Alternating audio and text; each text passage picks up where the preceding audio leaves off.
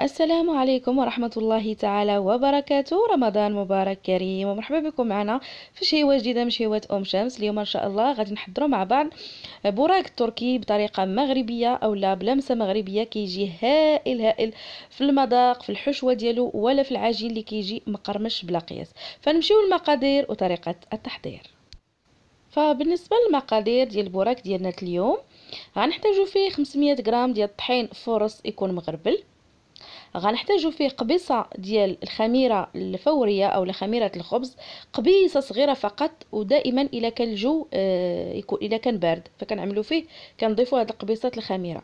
إلا كان الجو سخون فبلا ما نعملوها يعني قبيصة صغيرة فقط.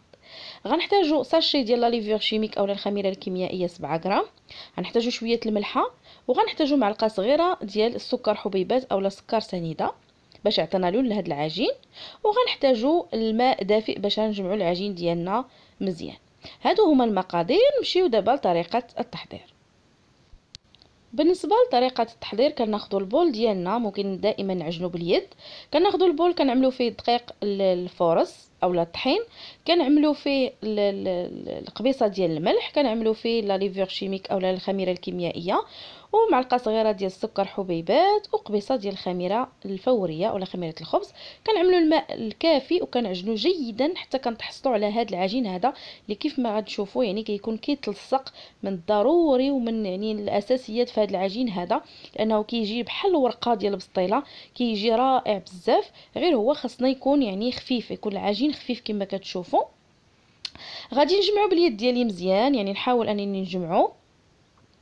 وغادي ندهنو بالزيت النباتي وغنعملو في واحد البول كيف ما كتشوفوا اللي غيكون بالدور ديالو مدهون بالزيت النباتي.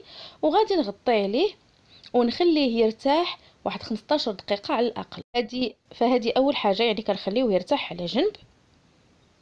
وغادي نمشيو باش نوجدو الحشوة ديالتنا على ما يرتاح لينا العجين فبالنسبة للحشوة أول حاجة غناخذوا الشعرية الصينية ديالتنا هنا استعملت يعني الباكي الصغيور اولا الخنيشة الصغيره ديال الشعرية الصينية.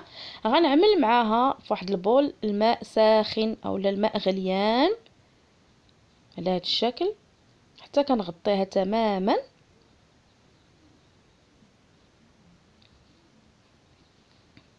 على هذا الشكل هذا. غادي نغطي عليها وغادي نخليها على جنب حتى كتنفخ وكتصاوب معنا غنمشيو نكملو نحطوها على جنب. كما كتشوفوا فهنا الشعرية الصينية ديالتنا راه هي في الماء طايب والعجين ديالنا راه هو كيرجع أولا راه هو كيرتاح. ودابا ندوزو للحشوة. غنحتاجو في هذه الحشوة ديالنا اليوم. نحتاجو حبة ديال الفلفل الأصفر مقطعة فلفل أصف أحمر مقطع وفلفل أخضر كذلك. بصيلة وحدة متوسطة مقطعة مكعبات. قريعة خضراء آه، محكوكة. غنحتاجو شوية ديال الزيتون مقطع. وغنحتاجو آه، خيزوه وحدة اولا جزره حتى هي محكوكة غير صغيرة. وغنحتاجو آه، حك ديال الشامبينيون مصبار صغير. على هذا الشكل. فبالنسبة للفلفل فعملت كل نوع منه حبة وحدة متوسطة الحجم.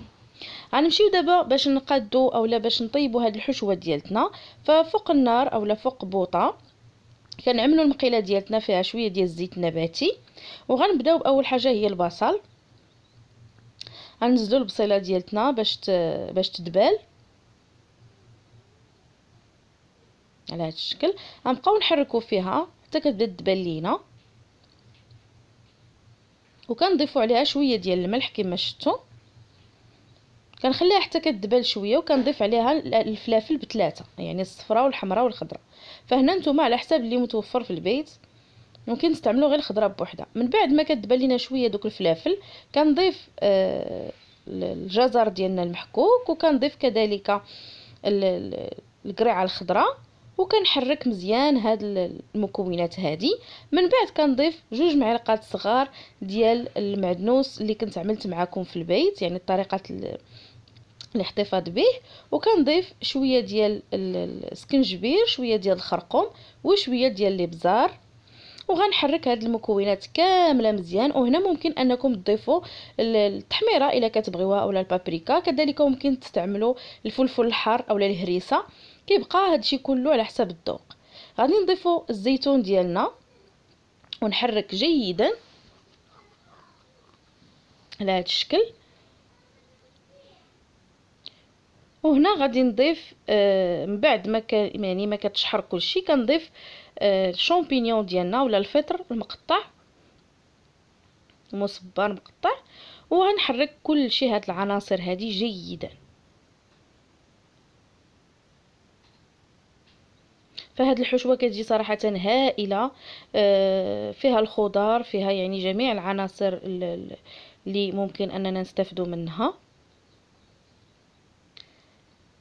وفداك المعدنوس اللي كنت عملت معكم فكيعطي واحد البنه رائعة حيت فيه الثومه أه وغتلقاو إن شاء الله الوصفة اللي باقي ما جربهاش اولا باقي ما جربش هاد الطريقة الاحتفاظ به غتلقاوها في صندوق الوصف. فهنا من بعد ما تشحر لنا العناصر كاملة غادي نضيفو دابا الشعرية الصينية اللي تصفيناها مزيان وقطعناها على هذا الشكل.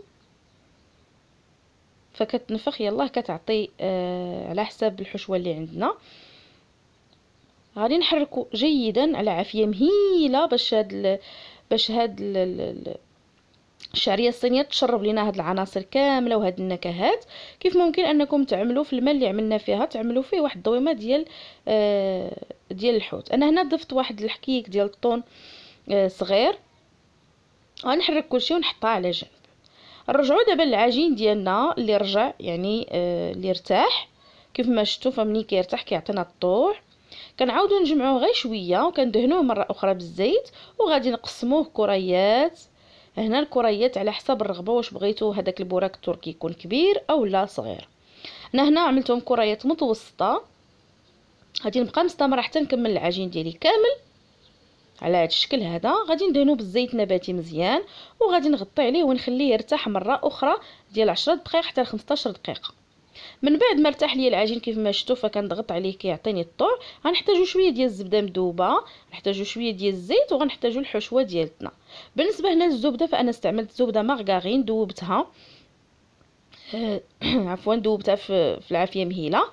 وغادي نبداو نشكلوا البوراك ديالنا بطريقة سهلة. كيف ما شفتوا فالعجين كيعطينا الطوع وكيكون صراحة هائل.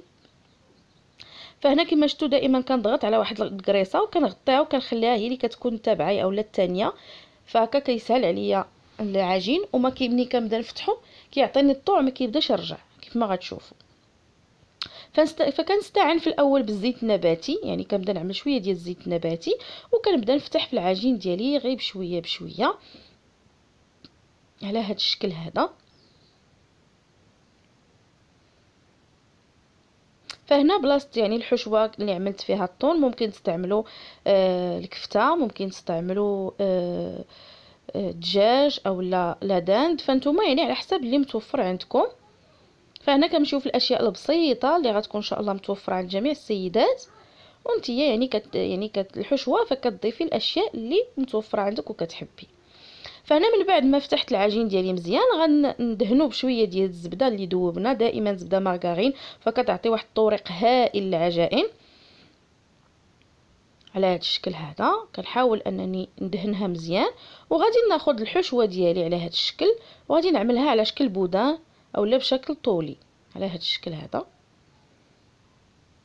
وهنا راه كتحكموا يعني في البودان ديالكم واش بغيتوه يكون آه رقيق أو لا يكون عامر مزيان فانتوما كتحكموا فيه. وهنا كنجمع الجوانب هانتوما غتشوفوا.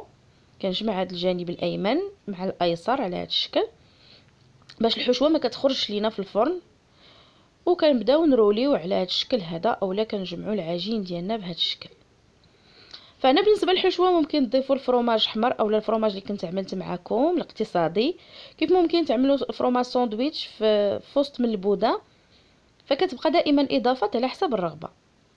كنروليو على هذا الشكل هذا حتى كنتحصلوا على واحد البودان كيف ما شفتوا على هذا الشكل. كنحاولوا نجبدوه غير شوية باش ما تقطعش لينا العجينة دائما الحشوه تكون باردة مزيان. وكنحطوه على جنب في صفيحة الفرن اللي تكون مدهونة بزيت نباتي. غادي ناخذوا آه، كويرة واحدة أخرى ودائما كنبسط واحد الهري واحد الكويره آه، وكنحطها على جنب باش كتكون يعني مرتاحة أكثر وغادي نبدأ نستمر في الفتح ديال العجين ديالي بهذه الطريقة.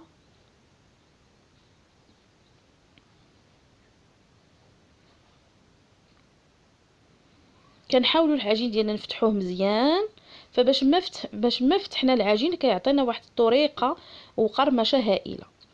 فغادي ندهن مرة أخرى بالزبده أولا بالزبده اللي ذوبنا الزبده مارغارين وغادي نوضع مرة أخرى بنفس الشكل الحشوة في طرف العجين.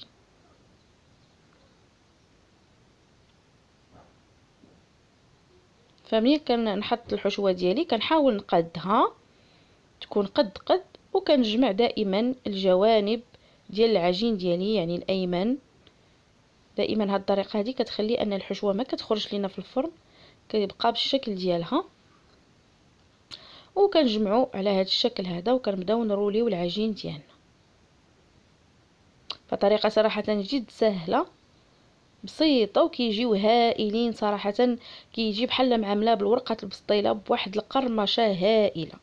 كنحاول دائما نقد البودان ديالي ونجبدو غير شوية فقط يعني عندكم باش ما يتقطعش معكم العجينة. وكنستمر بنفس الطريقة حتى كنكمل العجين ديالي كامل. على حساب شحال بغيتو ديال لي بودان اولا يعني شحال قداش بغيتو هاد البوراك التركي.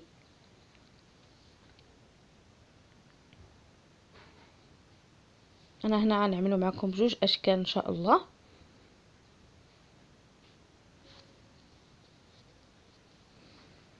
فكما شفتوا كنستمر بهذه الطريقة يعني كنوضع الحشوة ديالي من بعد ما دهنت فتحت العجين ديالي مزيان ودهنته بالزبدة وكنجمع دائما الجوانب ديالنا.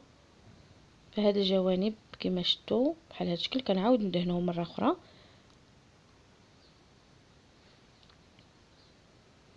وكنجمع العجين على الحشوة بهذا الشكل. فهاد الحشوه راها اقتصادية صراحة كتخرج تبارك الله يعني آه، كتخرج حشوة تبارك الله آه، بكمية كثيره وكنستمر بهذا الشكل هذا.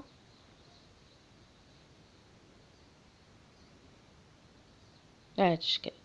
فبالنسبة للشكل الثاني كناخذ الكويرة ديالتنا اللي اللي عملت صغار فأنا في الأول عملت كويرات متوسطين وكويرات صغار. هاد الكويرات الصغار الدور ديالهم حتى هما دهنتهم بالزبده بالزيت عفوا وغنفتحهم جيدا على هذا الشكل يعني دائما نفتحوا العجين مزيان وندهنوه بالزبدة بهذا الشكل. أنا هنا الزبدة مع بارد الحال راه عاودت جمدات. وغنوضع الحشوة ديالي في الوسط ديال العجين وغنبدأ نجمع بحال بغيت نجمع كميميسة على هذا الشكل هذا كنجمع أطراف العجين بهذا الشكل وكناخذها بهذا الشكل هذا. كيف ما شفتوا كنحاول نرولي العجين ديالي يعني ندورو بهذا الشكل وكنحط هذيك الكميميسة وكنجمعها على نفسها. كيف ما شفتوا هكا.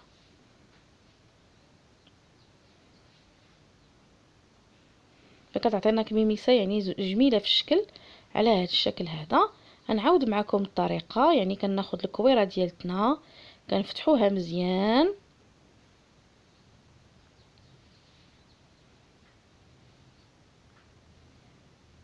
بهذا الشكل.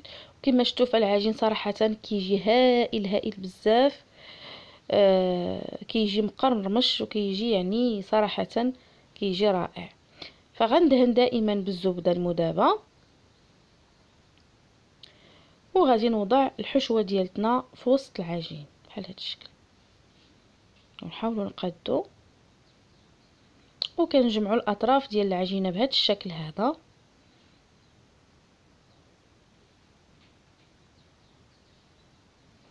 بحال هذا الشكل. كنوضعوها بحال هذا الشكل على شكل كميميسة. كنحاولوا نفتحوها في اليد ديالنا هكا. وكنروليوها يعني كندورو هذيك الكميميسة اولا ديك الكرة كندوروها وكنوضعوا العجينة هكا وكنجبدوا هذوك الجوانب كنحاولوا نجبدوهم باش كيغطيو لينا لتحت ديال العجين والحشوة ما كتخرج بحال هذا الشكل هذا كنحاولوا نجبدوهم مزيان ونجمعوهم من من أسفل العجين وها هي الكميسة ديالنا وجدات بطريقه جد سهلة. فغنوضعوا هاد التشكيلات كاملين في صفيحة الفرن وغادي ناخذوا أصفر بيضة نضيفوا عليها معلقة ديال الكيتشوب ممكن تضيفوا عليها معلقة ديال la sauce barbecue اولا الخرقوم اولا la sauce soja باش تعطينا واحد اللذة. وكندهنوا هاد الأشكال اللي عملنا كيف ما شفتوا البوراك هنا. فحطيت يعني جميع هادوك les boudins ديالنا وحده حدا الأخرى وحتى دوك البسيطيلات الصغار اولا البوراك بديك الطريقة. وغادي ناخذ دابا تزيين من بعد ما دهنتهم بداك الصفر ديال البيضة والكاتشوب. غادي ناخذ يعني الزنجلان الأبيض كذلك ال pavot وكذلك الزنجلان العادي. وغادي نعمل بهذا الشكل هادو وغندخلها للفرن حتى طيب مزيان. فمن بعد ما كطيب كتجي على هذا الشكل هذا.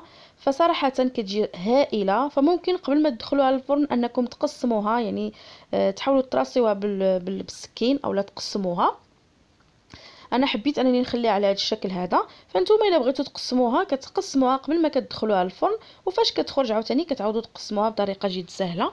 فكتجي صراحة هائلة لا في الشكل ديالها ولا في المذاق كتجي واحد القرمشة فيها رائعة. وعلى فكرة فممكن أنكم ما تدهنوهاش بصفرة البيض أنا بغيتها تعطيني أكثر فهي كتجي مقرمشة يعني بدون ما تدهنوها بصفرة البيض. ممكن تدهنوها غير بالزبدة اللي بقات لكم يعني بقات الزبدة المذابه كتعاودوا تدهنوها مرة أخرى وكتدخلوها الفرن. حتى هي كتجي رائعة وهانتوما شوفوا يعني كتجي ورقات هكاك الحشوه لداخل وورقات ما كاينش العجين ابدا ورقات فقط بحال عملناها بالورقات البسطيله فنتمنى الوصفه اليوم تنال الإعجاب ديالكم والاستحسان ديالكم ودائما ما تنساوش الاشتراك في القناة والضغط على زر لايك والجرس باش توصلوا دائما بجديد القناة. كانت معكم أم شمس وإلى وصفة مقبلة بإذن الله. إلى اللقاء.